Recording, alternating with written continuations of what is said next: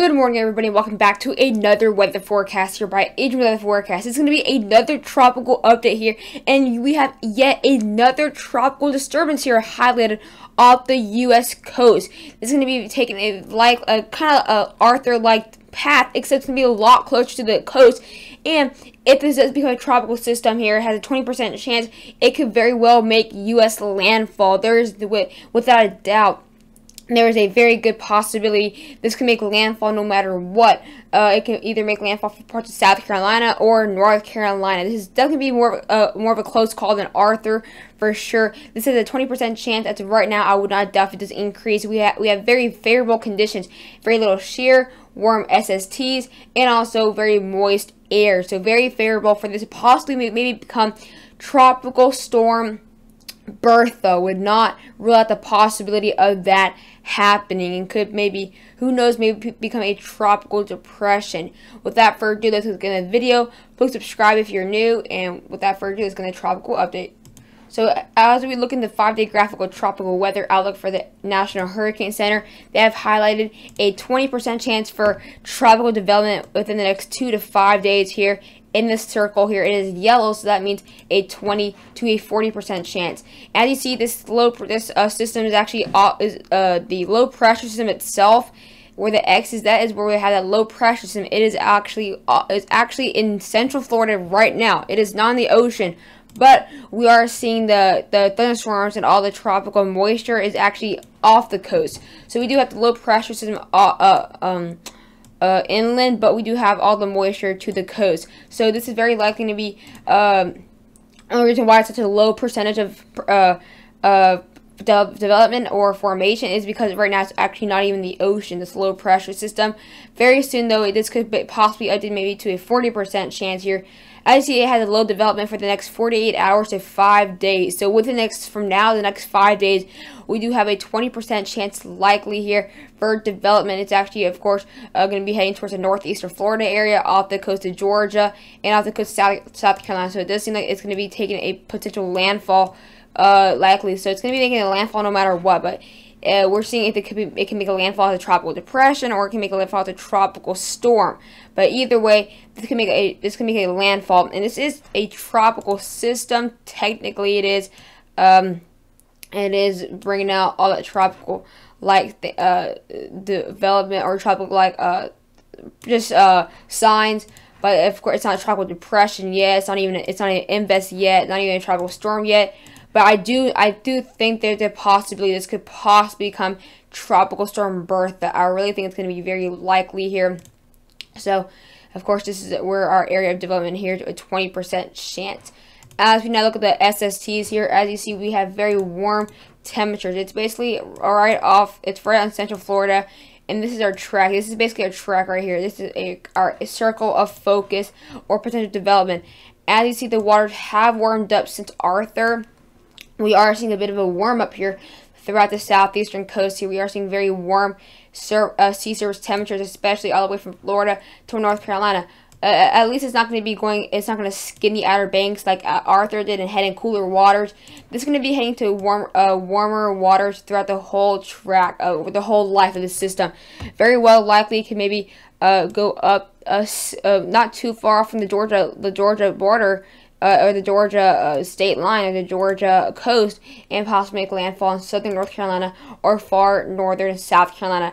This will be the first time in a very long time that we've had two uh, two are the two of the first name systems to make landfall in the Carolinas or in the U.S. in general. This is going to be very rare if this actually happens. It's actually very rare to see this even having a percentage of development. So if this is maybe even become a tropical depression, let's just say, or maybe a very weak tropical storm, and it makes landfall in North Carolina. Uh, like this would be Bertha. This would be the Bertha track really. If Bertha were to form, is to form, form, it would be most likely right here. That would be the you. That would be like the track.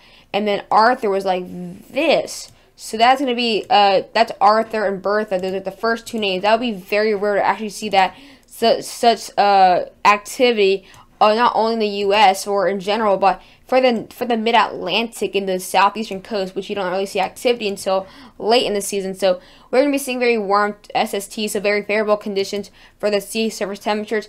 Let's go check out the um the satellite imagery. So this system is bringing a lot of cloud cover. You're going to just see this dense cloud cover. It's right here. You see that, low pressure thing mostly right here. Like I said, we are seeing most of that precipitation, most of all that moisture off the coast, but the, the central of the system where the low pressure is still off, uh, still inland. As you see, this is going to bring a ton of cloud cover throughout parts of the coast. Um, all the way from Mississippi to parts of New Jersey, we're going to be seeing cloud cover from the system. It's very, very widespread. Uh, the system is a very large system, going to bring dense cloud cover all the way from South Carolina to the Bahamas, and then bringing some more cloud cover throughout parts of Georgia and the southeast. As you can see, the cloud cover is moving to the north. So this is definitely from the system as it is going to continue to move north. So Here's basically where all this moisture is. It is moving up the coast.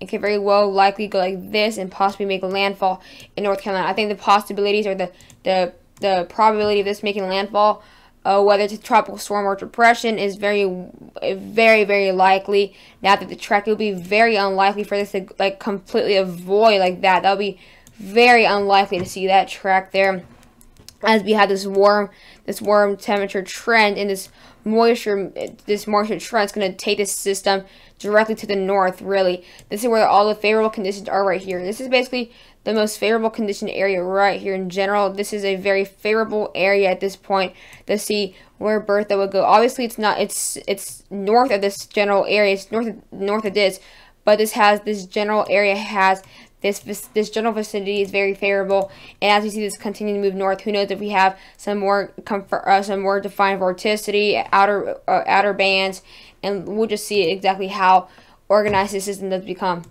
As we now look at tropical tidbits, the radar here, the GFS model, here it is currently right now.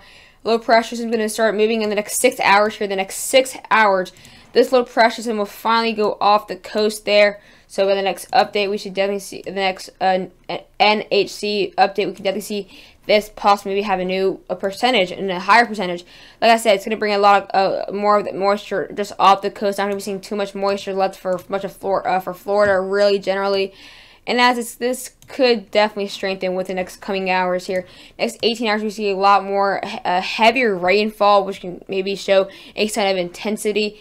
Uh, way more intensity. Could be seeing some more outer bands, a, a, a more um, more defined outer bands. It's going to be bringing rain throughout much of the Carolina coast very soon. Actually, within the next 30 hours, this thing could bring in uh, close landfall. As you see, this thing could very well make landfall. Here we had that defined low pressure system at 1,000 millibars. Who knows if it drops all the way up to the 900s. And here we have this very dense, uh, very extreme and intense rainfall and downpours, which can make landfall for southern North Carolina coast, just south of the Outer Banks, and possibly affect Raleigh, Winston-Salem. Those areas very hard and bring a ton of rain throughout those areas in the Mid-Atlantic. Let's go and check the CMC model here, which is also very good with the tropics. As we look at the next 12 hours here, bringing that really heavy rain off the coast of Florida. And it is showing uh, kind of not as organized, but here you see the system next 36 hours. Very, it's showing a lot more of a later landfall or a later effect on the Carolinas, and then it shows affecting ports at southern North Carolina coast. And go check out the icon model. Uh, actually still loading. Let's go check out the European though. You can see the European is going to be shipping it uh, let's actually see if we can check out the, uh, let's go and check out, we can check out the, um, I'm not sure if I can find it. Uh, it's just going to be showing the, uh, 850 bar wind, so this is going to be higher in the atmosphere, though. It, it is showing it off the coast near Jacksonville, and then does possibly head off into parts of South Carolina based on the GFS, or based on the Euro, Euro model. But let's go back to the GFS here. Let's go back out here to the total accumulated precipitation here. This is going to bring a ton of rain. You can definitely see that basically the track of the system going to be here, and that's going to be kind of taking this track right to the directly to the north. You can just see this cone. Uh, this is the cone basically right here. This is our cone. Could possibly bring a half foot or more of rain throughout parts of just off the coast of North Carolina. Who knows if it will bring even more rain for North Carolina inland later on as we know, the current condition today is going to bring in uh, quite the strong wind gust for this uh, for non-invest system. Could possibly bring it to 28 knots to possibly 30 knot uh, wind gust throughout these areas uh, right now. That's basically, basically those are basically the wind gusts we are seeing right now. That's exactly why we are seeing this uh that highlighted area. You see possibly 33 knots there. that highlighted area. Uh, that's exactly why we do have that highlighted area. We are seeing the very favorable wind conditions here. Uh, not just seeing, we're not just seeing a little uh, area like, like this with like no winds. Like we're not seeing this, we're seeing this and it's in circular rotation there. Think that in the next 12 hours can very well likely strengthen a little bit and wind wise can maybe cross 30 knots at this point. As we not get 24 hours, this thing will possibly look a lot more organized and stronger winds, staying around that 30 knots to 32 knot uh, really range. But in the next 30 hours, this thing can possibly reach 40 knots here uh, which I believe is 45 miles per hour. I, if I'm not wrong, that's going to be possibly see 40 knots right there in that little center there. Then that can bring us some very strong winds, likely for North Carolina there. That is that, that's what really the the GFS is showing, who's bringing some good, good winds, and who knows if it strengthens uh, out of nowhere. Like Arthur, Arthur, I believe got 60 miles per hour, and before even becoming an invest, it was not showing more than 40 miles per hour. Who knows if this can be the same case? It's not showing really more than 40 knots here, but who knows if it gets more than 50 knots? Who knows? Here, we look at the vorticity signature in the next six hours. We do have some good vorticity signatures. Uh, you see that darker reds there, some oranges, but it's not really organized. You want to see like in one circular area. You don't want to see it all scattered like that because you see that across many areas. You want to see like a circular, really dark red there, like Arthur did like Arthur signature was. Of course, this is not uh, it's not really forecast to be a tropical storm necessarily, because obviously we don't have the intensity guidance because it's not even a uh, it's not even an invest here, not even a tropical depression here. But as we now look, this we'll have a better a better vortex uh, vorticity signature before that landfall in 30 hours there. It has a bit of a better looking uh, vorticity signature there, so does look it does strengthen definitely strengthen a lot before the potential landfall. As you look at the favorable conditions here, like I said, very favorable in the beginning of the video. We have a whole area right off the coast of Florida where the thing is right now where it has no shear or very little shear whatsoever. We do have kind of a strong flow to the north of the system. As you see, it's kind of right here at this point. And this is where all the precipitation is. It has very little wind shear where it is right now.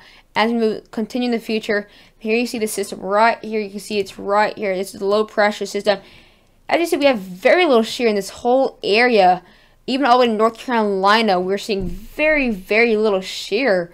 Um, not even seeing more than 30 knots or 27 knots, even 25 knots. We're not even reaching 25 knots in the atmosphere here. Very little shear, so this could very well possibly strengthen because of that. As you see, we uh, we very little, uh, we have very little cooler, really, very little cold water, and also very little shear. So this could very well strengthen and continue uh, on that strengthening trend until it goes over land.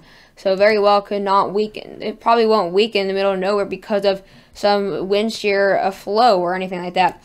Also, something that's very favorable is the humidity and all the moisture. We're noticing a ton of moisture right here in this in our variable cone. As you see, it's forecasted here, the low pressure system. Look at all this moisture ahead of the system all this moisture. It's going to be a ton. No dry air really whatsoever near the system at all, really.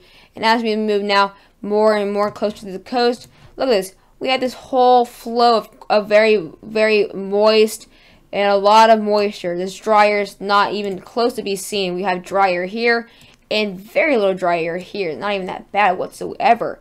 But really, really a strong area of where this possibly cone will be of moisture. There's going to be no dry air whatsoever moving in this area as it does move across, yeah, as it does move off the coast of the U.S.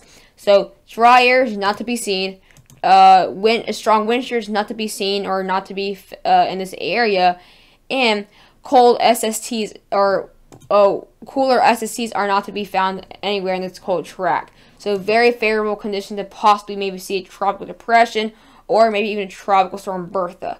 Hope you guys enjoyed the video though. Please subscribe of course if you're new and I'll keep you guys updated on this potential Bertha.